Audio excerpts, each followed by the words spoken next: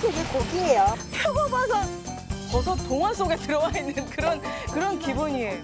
정말 호불호가 별로 없어질 것 같은 그런 맛이네요. 표고버섯 맛없시다.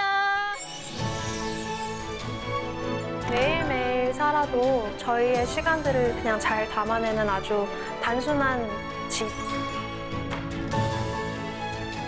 충분한 자연광을 드릴 수 있기 때문에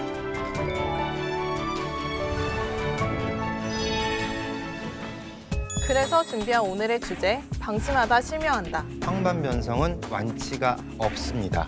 아이고